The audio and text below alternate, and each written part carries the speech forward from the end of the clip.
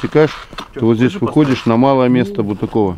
Сотрудники национального парка уточняют маршруты, по которым им сегодня предстоит пройти, проводя ежегодные учеты лесной фауны. Несмотря на то, что инспекторы знают эту территорию как свои пять пальцев, каждый из них имеет при себе GPS-навигатор.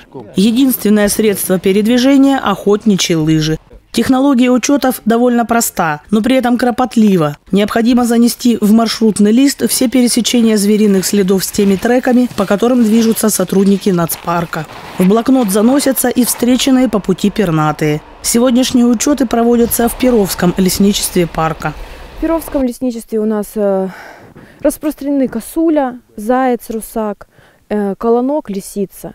В горном побольше видовое разнообразие это и морал встречается, довольно часто кабарга, рысь, росомаха, волки, также лисы, выдры, э, норка. В прошедшем 2015 году научными сотрудниками Национального парка Шушинский Бор была разработана более совершенная методика учета звериного населения.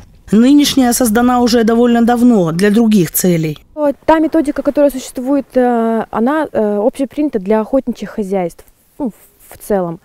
А наша именно э, адаптирована под особо охраняемую природную территорию, а также под особенности орографии нашего рельефа. Инспекторам национального парка предстоит сегодня преодолеть 6 маршрутов общей протяженностью 40 километров. Совсем скоро подобные учеты состоятся и на территории горного лесничества. Забегая вперед, можно говорить о том, что численность и плотность млекопитающих и птиц в парке остается стабильной.